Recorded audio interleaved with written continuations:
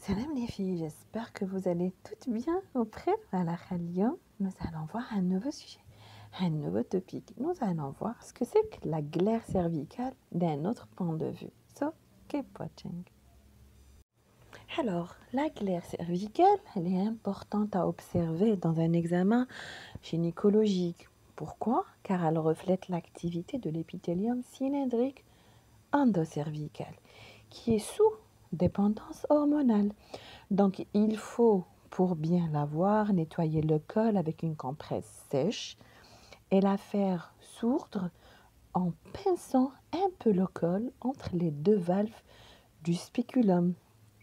Ainsi, en première partie du cycle, normalement, elle euh, augmente progressivement en abondance pour être au maximum au 14e jour du cycle, donc au moment de l'ovulation. Donc la glaire, elle est claire, s'écoulant du col euh, sans cesse et on peut en apprécier la filance entre les deux morts d'une pince. On peut aussi euh, l'étirer sur 8 à 12 cm environ.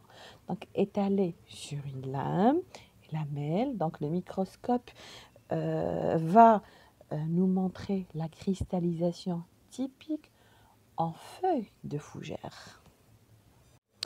Juste après l'ovulation, en seconde moitié du cycle, la glaire cervicale, elle va s'épaissir, elle va devenir opaque. Il n'a plus de filance. Donc à ce stade, euh, elle a un aspect sous contraception témoignant de l'effet de la progestérone sur la glaire. Donc le score d'Ensler qui est utile pour préciser cette sécrétion. Donc euh, le score d'Ensler, il va nous montrer l'ouverture du col, comment elle est, est-ce qu'elle est ponctuelle, perméable, béant, l'abondance de la claire, est-ce qu'elle est minime, en goutte, en cascade, filante, euh, la filance, est-ce qu'elle est de 1 à 4 cm, de 5 à 8 ou au-delà de 8 cm, ainsi que la cristallisation, si elle est linéaire, partielle ou euh, complète. Quant à l'interprétation de ce score, eh ben, quand euh, ce score il est entre 8 et 10, on admet que la sécrétion cervicale elle est bonne.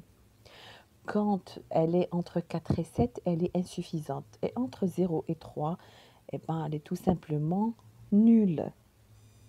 Donc voilà, voilà, c'était le thème d'aujourd'hui. J'espère qu'il vous a plu. D'ici là, n'hésitez pas à me laisser vos questions en commentaire.